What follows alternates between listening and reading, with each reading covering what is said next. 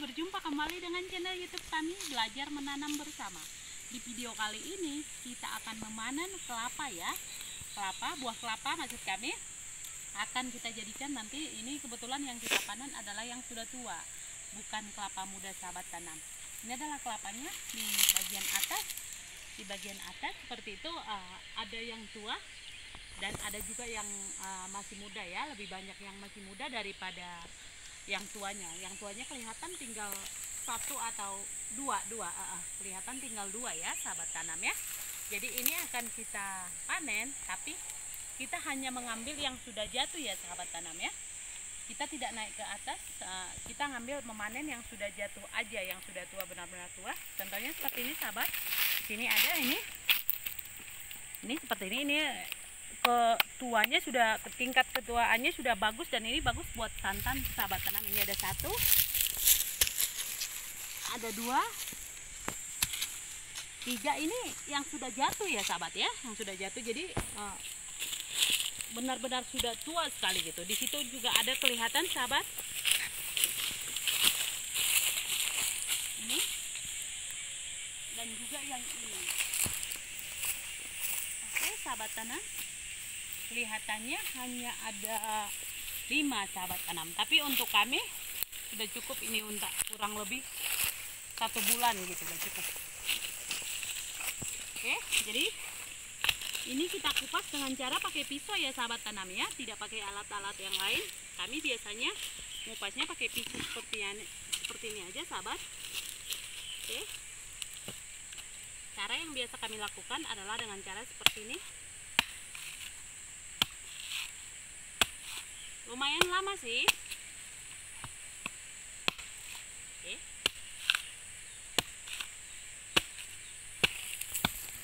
Sampai semuanya nanti terbuka ya sahabat tanam ya.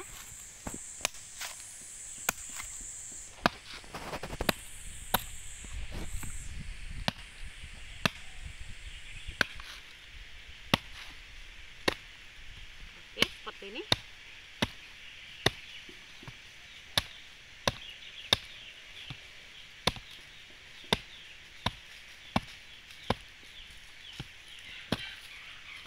Kadang-kadang ada yang sudah numbu ya sahabat tanam ya. Kebetulan yang ini belum. Bagian ini bagian belakangnya bagian bawah macam kami.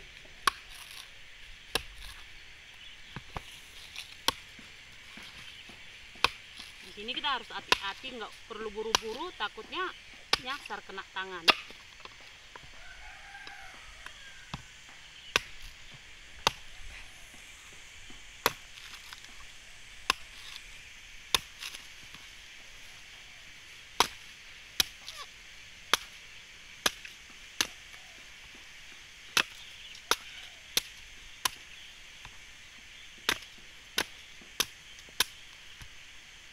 Oke, setelah bagian ini sudah kelihatan dan di bagian uh, ininya juga sudah terlihat, boleh kita buka menggunakan pisau lagi ya.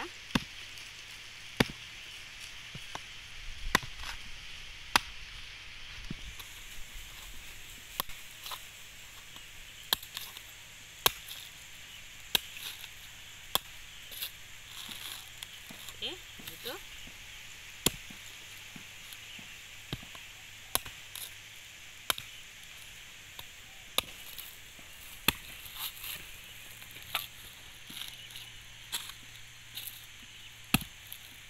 ya seagak sedikit sulit karena ini kelapa yang sudah tua sahabat ya.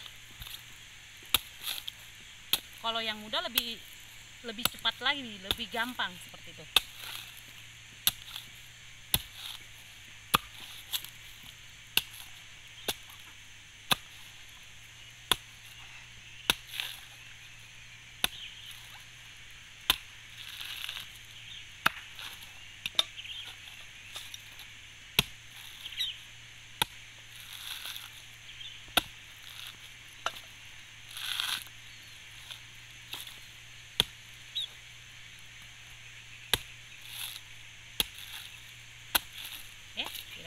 bagian luarnya. Sudah semua terkupas ya. Kita tinggal ngebersihin aja ini.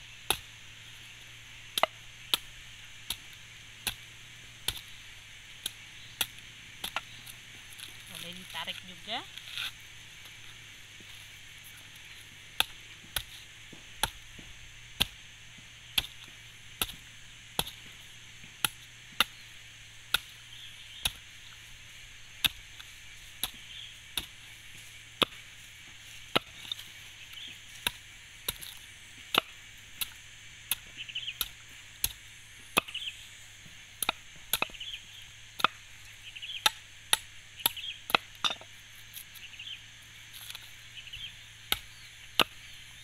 Oke. Ini boleh kita tarik ya sahabat ya.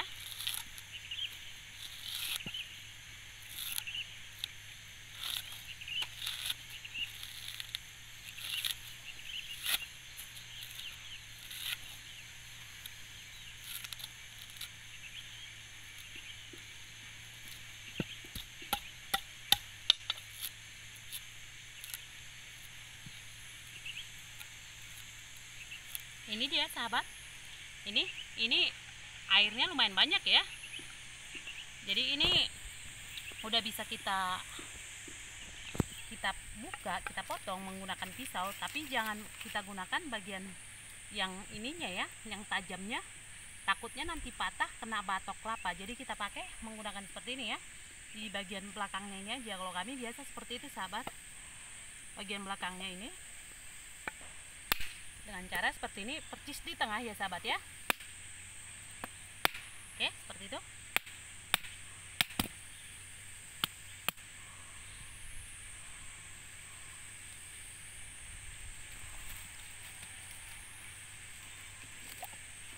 Oke ini dia sahabat.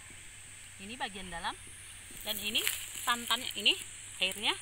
Dan ini santannya seperti itu ya. Ini santannya pasti ini karena sudah tua pasti kental santannya rasanya manis. Dan airnya boleh kita coba ya. Airnya juga cukup manis sahabat tanam. Segar untuk cuaca panas seperti ini. Nanti ini akan kita kalau di daerah kami ini bisa diparut ya. Diparut ke tukang parut. Seperti ini. Jadi sisa nanti tinggal batoknya tinggal parut nanti dan kita santan misalnya kalau kita menyantan sayur tinggal pakai aja gitu. Atau menyantan daging juga boleh seperti itu sahabat ya. Demikian dulu uh, video kami pada saat ini. Mudah-mudahan bermanfaat buat sahabat tanam semuanya. Terima kasih